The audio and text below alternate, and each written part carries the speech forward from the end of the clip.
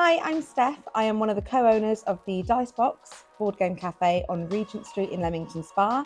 We have been here now for just over four years. So, the Dice Box is slightly different to a normal cafe. Here, we're all about the games.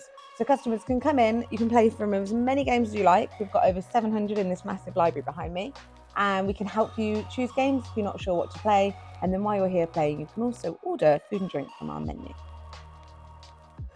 We chose Leamington because my husband, who owns the business with me, has born and bred in Leamington. He's lived here all his life. And we always loved and could see how much Leamington actually supports small local independent businesses. And I think it's the reason that we have survived through the horrible times of COVID and why we're still here today and why the business has thrived and done as well as it's done. And with it being so successful, our remarkable news is we've actually opened up another branch in another area of the country in Peterborough and we have a Worcester branch opening very shortly too.